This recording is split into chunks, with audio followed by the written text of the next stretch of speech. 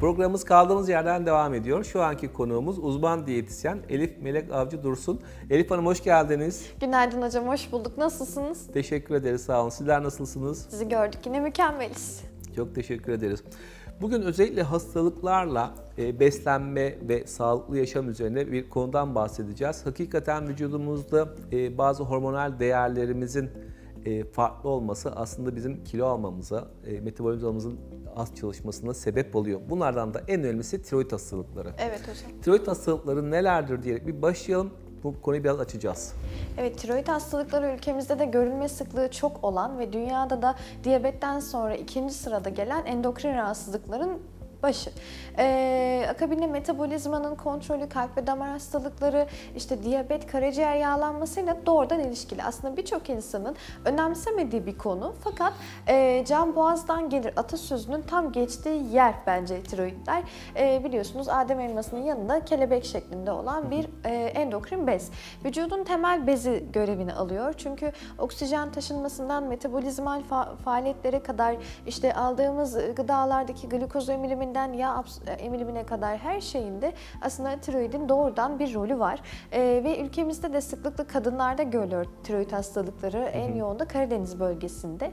E, Birçok kadının aslında ülkemizde tiroidektomi yani tiroid e, alınma ameliyatını geçirdiğini görüyoruz. Ve bunun belli bir yaş aralığı yok. Küçük yaşlardan e, ileri yaşlara kadar devam ediyor.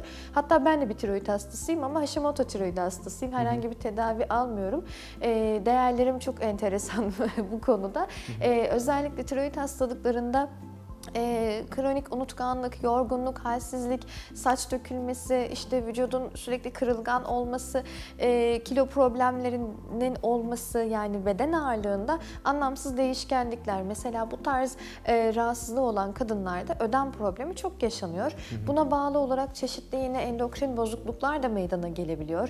Özellikle polikistik over sendromu ile karakterize. Benim gördüğüm bazı hastalar mesela hem e, tiroid, hipotiroid hastası hem de e, Hashimoto belirtileri var örneğin. E, ilaç tedavisi almayanlar için söylüyorum bunu. Hem e, PCOS belirtileri var hem aynı zamanda fibromiyalji belirtileri var. Dolayısıyla tiroidin aslında ne çok geniş yelpazede e, etkili olduğunu buradan görebiliyoruz. Yine bazı çalışmalar mesela e, tiroid hastalıklarıyla işte goiter, hipotiroidi, Hashimoto tiroidi graves ve benzeri hastalıklarda e, kalp ve damar sağlığı ile ilgili problemlerin de olabileceğini, işte e, hipertansif bulguların olabileceğini de göstermiş.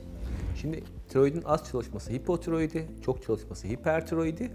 Bunlar tabii farklı klinikler ama hepsi de aslında kişinin ciddi anlamda hormonal dengesini bozan şeyler. Evet. Bir de tiroide alınmış olan kişiler var. Bu kişilerdeki beslenme düzeni bozuluyor mu? Bu kişiler kilo alır mı? Biraz bundan bahseder misiniz? Evet, e, bu tarz e, bir operasyon geçiren kişilerde genellikle ilacın ayarlanması yapılana kadar olan süreçte çeşitli e, ağırlık değişiklikleri olabiliyor. Mesela bunun bir sebebi bence e, kişilerin ameliyat olduğum olgusuyla beslenmelerine ağırlık vermesi ve hani kısa zamanda kilo alması belki de. Ama bazı bulgularda da tam tersi şeyler olabiliyor. E, aslında tiroidin tamamen alınması veya yerine replasman ilaçların kullanılması belli dozlarda e, kişinin kilo alması için tek bir sebep değildir. E, burada da yine dengeli ve yeterli beslendiğimizde replasman aldığımız için o tiroidin yoksunluğunu aslında hissetmiyoruz. Yani e, kişi bu durumda illa kilo olacak diye bir şey yok. Fakat e, Hashimoto tiroidi gibi ya da hipotiroidi gibi fark edilmeyen, farkında olunmayan tiroid hastalıklarında evet anlamsız kilo artışları, anlamsız ödemler, şişkinlikler olabilir. Bunlar da yine doğru beslenme yolları ve teknikleriyle e, hayatın fiziksel aktivite düzeyinin artırılmasıyla beraber daha iyi hale getirilebilirler. Peki tiroid hastalığı olan kişilerde beslenme nasıl olmalıdır? Özellikle e, bir beslenme kılavuzu yok bununla ilgili. Fakat e, bazı gıdaların mesela laktoz ve laktoz içeren e, gıdaların diyetten çıkarılmasıyla beraber e, tiroidin otoimmün hastalığı olan Hashimoto tiroidinde e, çeşitli iyileşmeler olabileceği saptanmış. Mesela gluten içeren diyetlerin azaltılmasıyla beraber e, yine Hashimoto tiroidi belirtilerini ya da hipotiroidi belirtilerini biraz daha iyileştirilebileceğine yönelik şeyler var ama kesin kanıtlar değil. E, mesela goitrojenler deriz. E, işte tiroid fonksiyonlarını etkileyebilen lahanagiller, brokoli gibi e, brassica tarzı sebzeler, bu aileye ait sebze gruplarının tiroid çalışmasını etkileyebileceği söylenir. Fakat bunlarda da e, iki farklı görüş var. Bir görüş diyor ki evet lahanagiller tüketilebilir uygun bir pişirme yöntemiyle içinde goitrojen bileşik olabilen e, bileşikler atıyorum e, haşlanarak veya kaynatılarak e, suyla beraber gidebilir. Biz burada e, bu tarz gıdaların antioksidan özelliğinden daha fazla yararlanmalıyız ve posa içeriğiyle beraber aslında kilo kontrolüne destek olabilirler gibi bir görüş varken bir diğer görüşte hani kesinlikle tüketilmesin tiroid hastalıklarında diye bir görüş var. Ama tabii burada da bence bireysellik önemli. Bazı insanlar e, evet sindiremiyorlar veya daha farklı sindirim problemleri olabiliyor kış sebzeleri genelde bu brassica grubu dediklerimiz. E, dolayısıyla doğru belki pişirme ile beraber bu da azalabilir. E, bunun için e, iyi bir gözlemsel çalışmaya ihtiyaç var.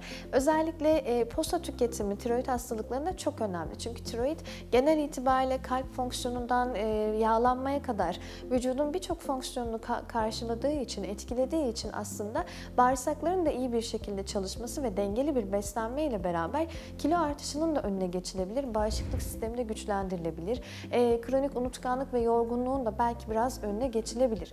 E, akabinde yine kaslarla beraber e, metabolik fonksiyonlar üzerinde tiroidimiz etkili olduğundan dolayı fiziksel aktivite çok önem taşıyor. Yani günlük 45 dakika öneriliyorsa tiroid hastalarının belki 60-65 dakika egzersiz yapması bu hastalıkların e, yan etkilerinden kurtulmaları için önemli olabilir. Şimdi peki tiroid ile gebelik arasındaki ilişki nedir? E, tiroid hastalıkları yaygın bir şekilde kadınlarda daha sık görüldüğü için gebelik planlaması yapan e, kadınların özellikle gebelik öncesi tahlillerinde e, mutlaka TSH değerlerine baktırmaları, tiroid çalışmasını kontrol etmeleri önemli olabilir. E, gebeliğin son dönemlerinde bazen tiroid fonksiyonları e, ani değişiklikler gösterebiliyor. Bu da doğumsal komplikasyonlar komplikasyonlara neden olabilir.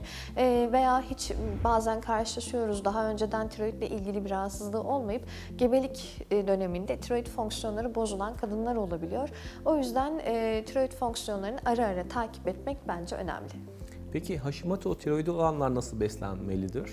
Hashimoto tiroidine ait yapılan bazı çalışmalar gösteriyor ki e, protein kalitesi yüksek bir beslenme modeli e, bu hastalığın ilerleyişiyle ilgili semptomları belki azaltabilir.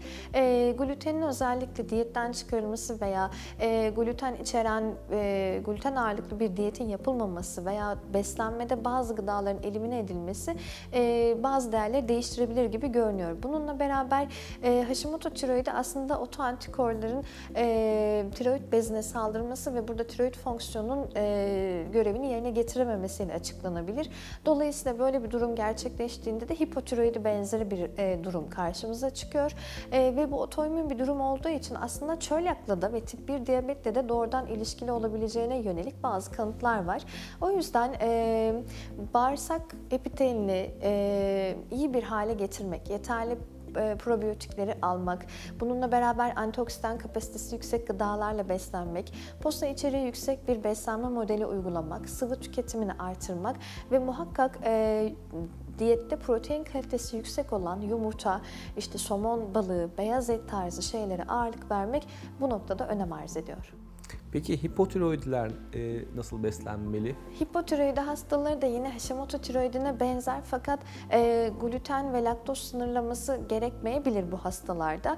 E, dolayısıyla yine hastalığın seyrine ve niteliğine göre e, posta tüketimini artırmak, özellikle yeşil yapraklı sebzelerin meyve tüketiminin artması önemli. Tam tersi şeker tüketiminin, rafine ürünlerin ve işlenmiş yağların tüketilmesi bu hipotiroidi hastalarında hızlı kilo artışına neden olabilir. Hani bazı kişiler söyler ya su bile içsem yarıyor diye. Hı hı. Bu ya vücudunuzda hipotiroidi olduğu anlamına veya insülin direncinizin yüksek olduğu anlamına gelebilir. Potansiyel olarak yağlı yiyecekler, kremalı gıdalar, içeceklerden yüksek şeker, asit ve yağ içeriğine sahip olan içeceklerden yine ciddi anlamda uzak durmak önemlidir. Vermiş olduğunuz güzel bilgiler için çok teşekkür ederiz. Rica ederim hocam. Sağlıklı günler dileriz. Teşekkürler. Bugünkü program konuğumuz uzman diyetisyen Elif Melek Avcı Dursun idi. Kendisine tekrar teşekkür ediyoruz. Programımız kaldığımız yerden tüm hızıyla devam ediyor.